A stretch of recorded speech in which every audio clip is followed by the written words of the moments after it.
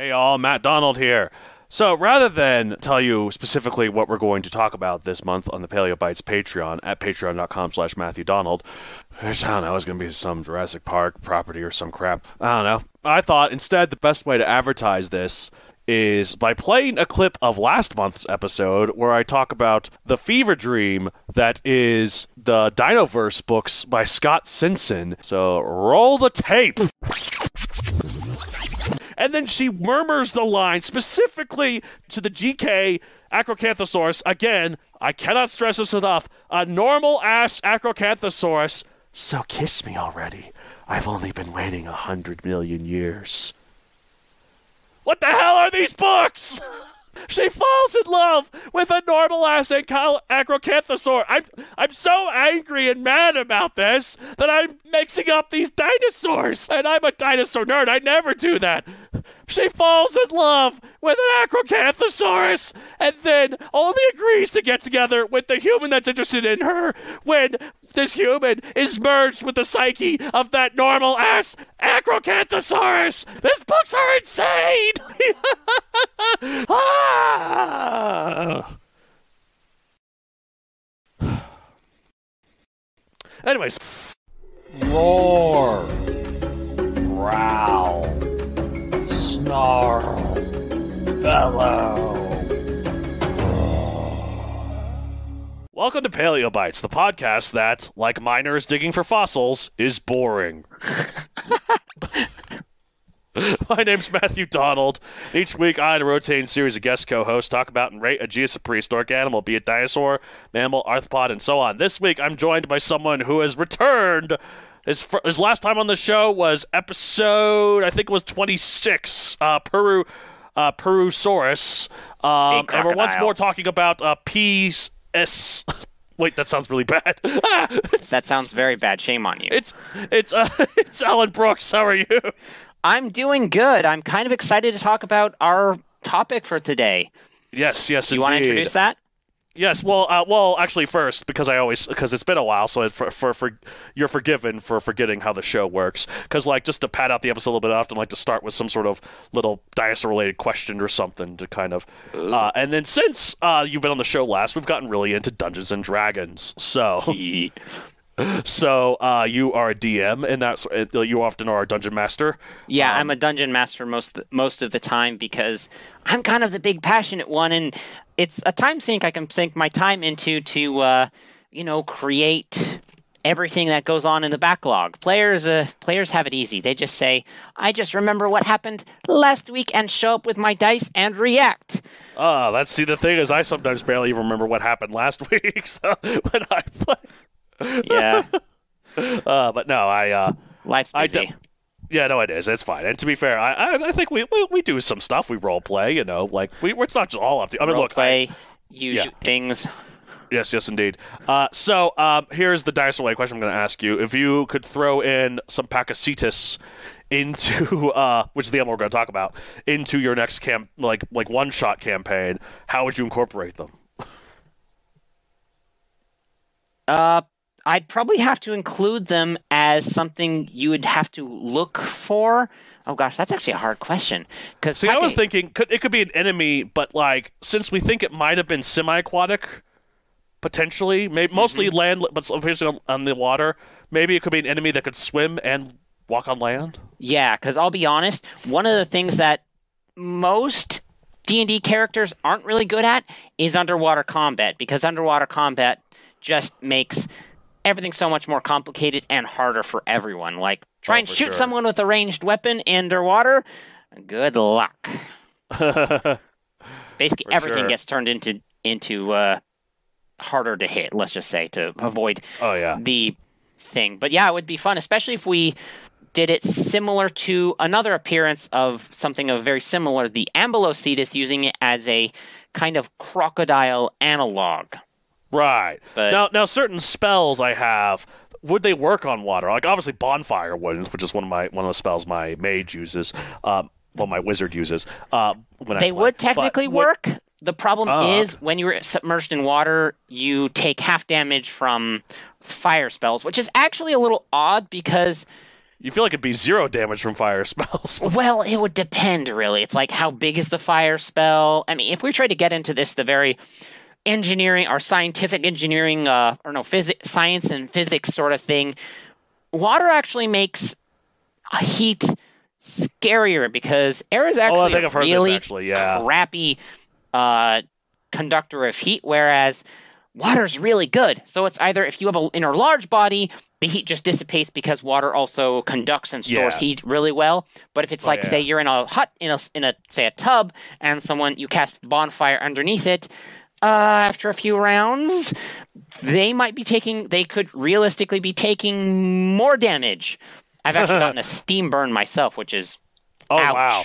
Well, I They're know there was the movie Dante's Peak, which there was a volcano erupting, and there was a part where like these this couple that was like bathing in a hot spring suddenly died because the lava started appearing in the hot spring, which I don't know how scientifically accurate that is. Actually, I think what happened was because basically volcanoes are not just molten rock; they're also lots of rather fun and, uh, or shall we say, very scary chemicals. And my thought was that the pools had turned acidic enough that they basically, actually, I don't know what it's called when you die from acid, but basically they got killed by acid. acidification, kind of. Yeah. Oh Yeah, man. basically got acided to death.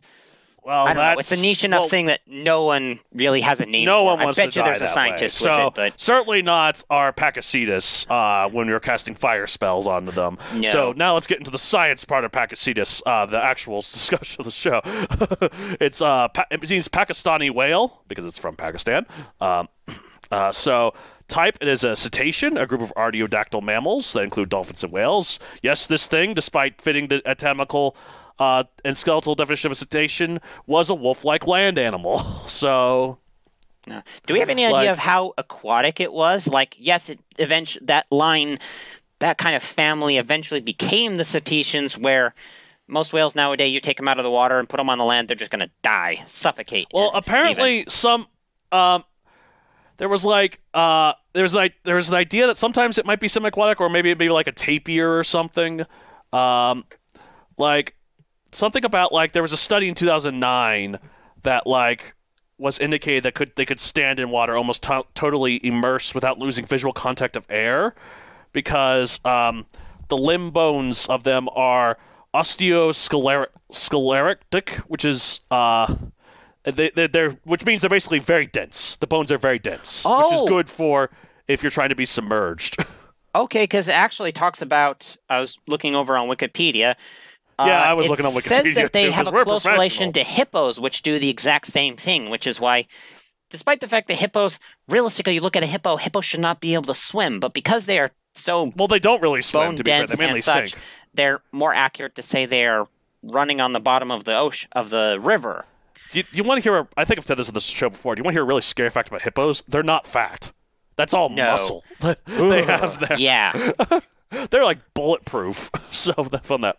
yeah. Uh, if, I was so- if I was going after, but you know, like- if I was trying to defend myself from a hippo, I'd like a fifty cal, please, or something big. uh, I'd like a grenade, which it would bite me, so I'd still die, but I'd take it with me. Maybe. Yeah. Or maybe just But, climb yeah. a tree. For all their bulk, they're For not all I know, hip- well, they could just knock the tree down. get that big tree then. But okay, okay, enough hippos. It's a boba. Anyways, but yes. Yes, yes, Pakicetus. Thank you for trying to keep it on track. So, Yeah. so, uh, yeah, no, the hippos are actually the most closely related uh, to whales of any uh, of the other even-toed ungulates. Because, like, it's weird. The even-toed ungulates, the artiodactyls, they do still include whales and dolphins, which is weird to me. like, it's a They very no weird inclusion. You got deer, bison, giraffes, camels, pigs. Then, then suddenly you have whales. yeah. Question. So you mentioned something about living like a tapir. What does that mean for the uh, Pakicetus?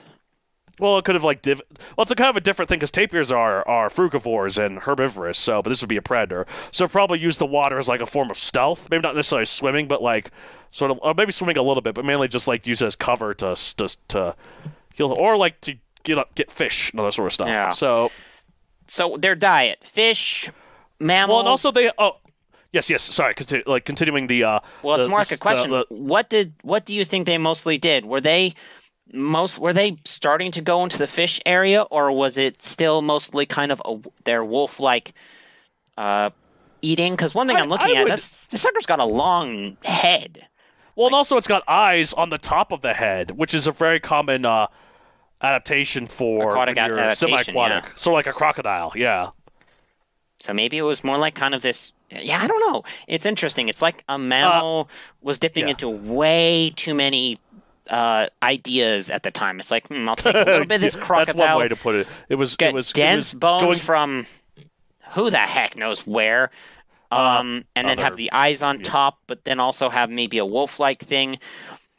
Some again Well- with the hippos is maybe they had sparse hair, so more like Yeah, a pig. If you've ever seen a pig, most pigs Well, are. you know, uh, here, hold on. Let me get get back into the stats here because I Yeah. Okay, let's go. Size: four point five to six point five feet slash one point five to two meters long. I couldn't seem to find anything on the weight, but I'm assuming it's probably a couple hundred pounds. Um, probably yeah. uh, diet carnivore, primarily fish and other small animals. So even though it was like a wolf, it didn't like hunt in packs and bring down like bigger animals, as, as far as we know. Like As far as we know, uh, we are guessing behavior on a bunch of bones. time, early Eocene, 50 to 48 million years ago. So this is like we're talking about like how quick mammals evolved into whales. So this was like 15 to, to 17 million years after, or or I guess 16 to 18 million years after the dinosaurs died out. So- Okay. And of course, with the dinosaurs came the lar- were the uh, large marine reptiles vanished. Yeah, like the mosasaurs, yeah. So mosasaurs as well as Xiphactinus. Yep, yep. Uh, a The few very well. elasmosaurians were still left. There were no ichthyosaurs left. They died in the in the early Cretaceous. Wait, there were some Uh, elasmo elasmosaurians? yeah, yeah, like Elasmosaurus, like plesiosaurs. Really? Yeah, I thought plesi- they were one of the blanket uh, extinctions at the Oh end. no, no, of the Cretaceous. ichthyosaurs died, but the plesiosaurs they lasted till the end, I believe. So, hold on, let me double check. Oh, I'm uh, fairly sure because because Elasmosaurus was fairly to the to the uh the Elasmosaurus was at the very end. yeah. Okay, uh, so you're meaning to the end of the Cretaceous. Okay. Yes, yes, that's what I mean. I thought yes, you said they lived past the Cretaceous, and I'm like, Oh no no no no no no no. like- okay, so no, let's not feed the Nessie supporters. Ah, no, it's real. It's real. Actually, no. Here's the thing. That's like the Nessie supporters. Go, we don't know if any uh, of the of the marine reptiles were actually freshwater, anyways. So that which would, Pakicetus probably freshwater or yeah, I'd say so. Uh, brackish sort of swamps. Uh, so location, like I said, True. Pakistan. Uh, described 1981. Pop culture appearances somewhere in Jurassic World, the game, I'm sure. but true. that joke is still has hasn't changed in the last 200 episodes that you've been. No, no, that one has So- not changed.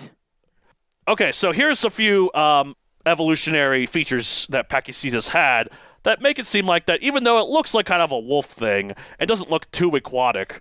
It had a lot of features that helped it with an aquatic sort of uh, environment. So it had a thickened skull bone, which is specialized for underwater underwater hearing. It's called the auditory bulla. Okay. And sort of like how we were talking about how whales don't really have ears. So there's like a fat pack. There's like a there's like a, a bit of the, the, low, the lower jaw that has like a place to store fat that extends towards the ear bone, which are both associated with underwater hearing. Okay. I wonder if in later cetaceans that was what evolved into the melon, if you want to call it that. Yeah, I've heard it's called the melon. Yeah, so yeah, like, on later cetaceans that have mm-hmm. become their echolocation, but yeah, like that's that's probably one of the early predecessors, though that's going to have to shift to the top of the skull, have to yeah, basically do a whole bunch of modifications in order to to uh, facilitate echolocation, which is a really powerful. which I doubt this thing had. cetaceans- yeah, no, no, this is way too early. If Yeah, this thing had the body plan and what it looked like, I mean, yes, it probably lists hears better in the water than we do, but uh, no Right. echolocation. No, exactly. Now, here's the thing, though. It does have a small mandibular foramen, uh, which is something based on that um, description. I assume is something to do with the uh, the teeth and jaws. Other cetaceans have much larger ones. Terrestrial animals have smaller ones. So once more, this is an intermediary intermediate fossil. Which, to be fair, every fossil is an intermediate fossil. We're all evolving into something else. Theoretically, So- everything's an intermediate fossil. But, okay, so it is basically starting to develop a better hearing underwater, which and then I'm the, a little the- surprised about because I would think that underwater sight and the closest analog smell would be more important. But Oh no, hearing oh underwater like this whale songs, they'll go for miles. yeah, Miles that was that was carries basically. so far.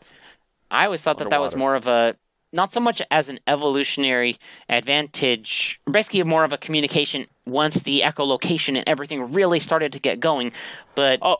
Focusing on hearing when you spend most of your time, Oh, it's probably well. I mean, like it's it's not really hearing so much as vibrations. It's kind of like touch. Uh, like I mean, it's also I guess it's also kind of like hearing in that regard. But sort of like, especially if you're like an underwater predator, it might be useful to be able to sense when a fish is swimming away. You know, that's but it's kind of close if you're still or whatever. okay, Uh, So here's now here's a couple of uh, things that like in that show that like well it might be aquatic. There's some things that make it not aquatic. The nose is at the tip of the snout. That's not usually Yeah, how it is yeah. in uh, water animals. That's land mammals. that is so, land mammals. Because if you look at crocodiles, their nostrils, Nostrils on the are top? pointed very much upwards. So Oh. so, and if you look, obviously, the the blowhole of a whale is their nostrils. Is their nostrils, which has done some a rather dramatic shift from the normal location, shifting from the front of the snout where most mammals have it, all the way to like the top of the head. Well, it's kind of like it's kind of like how we used to think Brachiosaurus was, like Okay. because remember with, with that big sort of crest on their head. That Yeah. we- like in Jurassic Park, I think it's depicted as the nostrils being there, but now I think we it was more closer to the snout. Okay, so and that would basically be like a resonating chamber or something. Yeah, yeah, or something. I remember a, a detail I had in my Megazoic books because Quinn, uh, the the Alpha Commander of the Voyager Corps, she was a Parasaurolophus, and um, I mentioned that she, she was a Parasaurolophus. So it was like she talked, mentioned her crest that had the was with connected to the radiating chamber, of the, the, the nasal chamber, whatever. As that meant that. Well, at her striking appearance, it did mean that when she got angry, she could yell really loud, Yeah. just like. And she "Ah!" probably sounded very distinct when she was loud. Uh, well, actually, Parasaurolophus is one of the animals that we know exactly how it sounded like based on the the studies of the resonating chamber. So, Yeah, very distinct resonating yeah. chamber. Okay. Park three all over again. But yeah, so Pakicetus was it uh, more on land or more on water? I'd wager it was mostly on land, but was very comfortable in the water. Kind of like, let's say, a polar bear, like Yeah, that's, But that's I a was- good comparison because or like a bear in general. I guess I should say yeah. maybe. Though don't I think polar bears are probably a more favorable one because most bears are well, if they're going to be going in the water, they're probably you know going to stay mostly on land, whereas polar bears have to live. Oh, actually, here's a better comparison. Instead of going uh, ursine, let's go. Uh, pantherine. Apparently, tigers are fairly. Oh, that's true. They do love water. Yeah, yeah, that makes pretty adept makes some more sense. swimmers, and I don't know if Tigers they have also eat- ever eat anything in the water as opposed to bears. So maybe my comparison is not as good, but they were Yeah. very com- they are very comfortable land or water. Yeah, tigers don't really use water. They don't really use water for stealth, though. They use, they use their bushes and their stripes, though. Yeah. So, which But to be fair, we have no idea if this had stripes or not. We don't have any fur impressions. The appearance so- is dis- distinct. I mean, some people say maybe based- it looked more like a wolf or it's covered in fur, or more maybe more like an otter. Otters are covered in fur, but yeah. they are also fairly streamlined and are pretty adept swimmers. Or Well, like, maybe it was if you more like, like- pigs Yeah. or um, hippos, where they don't got much fur. Well, it's like if you look at like a seal, for instance, if you look at it, it looks naked. But if you actually see any videos of like hand- handlers with them at aquariums, that's not naked. If you push against it, it's fur. It's matted fur. Like oh, Okay. so like, I think hippos are naked mostly, but no, I think Yeah, seal. I wonder if they're like seals. But like seals, though, it's like yeah, that's that's thick fur they have. That's Yeah. Matted. Oh my goodness! Uh, before we rate Pakicetus one out of sixty-five million, I remember there was like this really cool little flash. Well, it's not flash anymore because flash is nothing anymore. But it's like a, a, a online thing where it's like shows the depths. You could just scroll down to see the depths of. Uh, of the different zones, the different animals that live there, and, the, and then also as well as certain animals, the, the deepest that they've gone. mm-hmm. And someone was really shocked. Someone shared on like Facebook, or whatever, was like, "Wait, elephant seals can go two miles deep?" Wow. And And then because like that's the that's the death of the elephant seal, like mad props elephant seals. And then someone was like, "Oh yeah, no, they can." There was a footage. There was had some footage someone was having of uh in they were in their um their deep sea submersible. These scientists they were looking at the camera outside. Of course, the only light is um, from their camera. They're looking around, they're looking at crabs and other stuff. And then suddenly, because you know seals are kind of closely related to dogs, a seal that they didn't expect just put its big fat elephant nose to the camera. It's like, oh, what's this? Hello, can you help me search for clams? And the scientists were just at first they were shocked and scared because they the glowing eyes of the, but then they, suddenly they just burst out laughing. Yes. That is- cool. Dumb looking seal. Was like, oh, hello. Now What are you seals doing are now seals are entirely separate from cetaceans, right?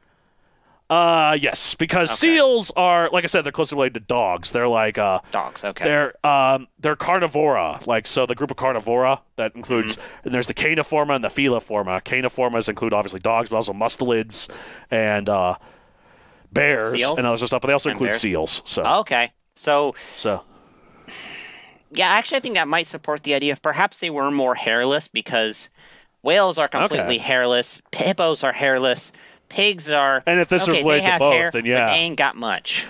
yeah, it's true. This is more related to both. I could see it if it had hair. It was very short hair, like. Either short hair or very sparse, stringy hair, sort of thing. Okay. Because, like, yeah, Okay. especially, it depends on how much was in the water. If it wasn't in the water too much, I could see it having more hair. But if you have, if it's in the water a lot, like, if you have that hair, that's either be specialized for the water or just gets in the way and creates drag. yeah, So, definitely. so, all right, well, let's rate Pakicetus 1 out of 65 million. I'm going to rate it uh, 52 million. I think it's cool. It's cool that, that uh, whales started from such humble beginnings. Small So- beginnings. It's like, yeah, this is about the size of a dog, and from that lineage, blue Oh, like a big dog. Some of them are like six feet long. It's like, like Well, they also got a long. They've also got a long tail, but That's true. I guess that's true. So yeah, never mind. A lot of its tail. that long of a tail. Yeah, so I guess I, that's the I'm body gonna size agree with you, though. I do have to dock maybe about 10 million points because they kind of are a little indecisive. They're not totally sure what they're doing. Their eyes are on the top of their head, but their no- nostrils are on Pick the one or the other, snout. Pakicetus. Are they aquatic? Are they um are they terrestrial? They're just kind of this indecisive thing, though. well, they I did do decide have to ask as is, we all know. but besides the lack of large uh, uh large things besides sharks in the waters, what do you think drove Pakicetus to think let's go into the water? Now, I am I'm assuming it's just a lack of. It's just because like like any evolution never has a path. It just takes whatever opportunities Okay. are there, and then certain animals with certain mutations that can better fit to be, live in them. They're like, okay, this will work. And yes, I think it was just a lack of a lack of uh, you know, other animals that like it. Like first, it was good to help it hunt, like especially if it was hunting more like a crocodile or other stuff. And then it was hunting fish, and then it just kept staying in the water more and more because because the the less it was in la- on land, the less it would get eaten on land, and so the more it would survive. So What kind of predators would there have been in this time and location maybe? uh, okay, let's find out here. Uh, let's see. It was found. Okay, so it looks like the only things that we fo- uh, fossil Eocene complete cetaceans, uh, Pakicetus, Ambulocetus, which we'll talk about in a second, and Atacocetus. Well, that sounds cool. It's like Atacocetus with an O instead of an A. Well, like that second A. It's still Huh. A T T O, Atacocetus. Uh, yeah. So, hmm, that's weird. Why it doesn't show other animals that were here? Okay, with some sort of stem perissodactyl, which are like the odd-toed ungulates. It looks like kind of like a tapir horse thing. Okay, so potentially prey for Pakicetus if it was more If it if it ate that kind Terrestrial. of stuff. Yeah, yeah. intermediate species like these are. It's really hard to nail down the behavior because Right. Uh, okay, look, this isn't helpful. Animals in the Kuldana Formation. Pakicetus, Pakicetus, Ambulocetus, Pakicetus. I'm trying. come on, give us something else because Uh, okay, so we, uh, for all we know, this place just had Pakicetus and the uh, Anthracobune, which is the st- stem perissodactyl. So, Okay. There we go. well, Those are the only two animals map, in its environment. One look at the map and it looks like um now I can't guess accurately, but it looks like perhaps one of the reasons that there's so few other species is because that section of Pakistan was kind of underwater. at least a large kind of portion it is underwater. I thought you could say probably underwater, or was like gonna be political, like under war. Yeah, but yeah, during that time, during the Ypresian or the early Eocene, looks like it was most. It had a lot of coastline and water involved, especially since you know India hasn't hit yet, so a Well, lot of the also- mountain formation hasn't occurred yet. This was So- when like the ice cap still hadn't quite formed yet. They didn't form until the very end of the Eocene, so the the sea levels were a lot higher than they are now. And what's more, actually, this time it was actually way hotter than it was even in the Cretaceous. So So potentially the Pakicetus went into the water, or the Pakicetus uh, ancestor Yeah, went into the water because it was too bloody hot. It was way too hot out there. It's like Yeah. let's go into the water, cool down. uh, probably this? not because it looks like us ocean acidification was one of the reasons for the Paleocene Eocene thermal maximum. but it does coincide though, so maybe yeah, maybe the ocean acidification killed off whatever competition was left. That would definitely draw them into the ocean. Plenty of fish and little to no competition. Probably couldn't go too Yeah. far out, otherwise into the sea. Otherwise, the sharks would definitely enjoy. Yeah, the sharks were still the, the sharks were having their brief moment to shine. Yeah. All right. Well, that's it for this week. If you want to get a hold of the show, you can contact me at mattd at matthew.creator.com for your general questions to any of the co-hosts. You can find me on social media at Matthew on Facebook, at Matthew Don64 on Twitter and uh, Instagram and everywhere else. And um, also, uh, if you want to follow the, the show, though, uh, you can follow it palebytespodcast at gmail.com, palebytespod on Twitter, and Palebytes Podcast on Instagram. And if you want to find uh, Alan, just contact me, and I'll relay any questions about D and D. You should inevitably probably have. yeah, I'm dead way. to social media. totally dead. Ah, good, good for you. You've avoided the curse. So, all right. I have a book series on Amazon Megazoic available for print and Kindle. Obviously, no Pakicetus. and It was way after when it took place. So, but uh, uh, that's it for this week. It's say the end of every episode of Paleo Bites. I feel like this would make like a crocodile like growl, like. I don't know if you, you know if you could hear it, but it's kind of this snarly sound in the back of the throat. Yeah, I've You'd feel it more than hear it. Oh, that sounds. scary. yeah, yeah. All right. Bye. Bye.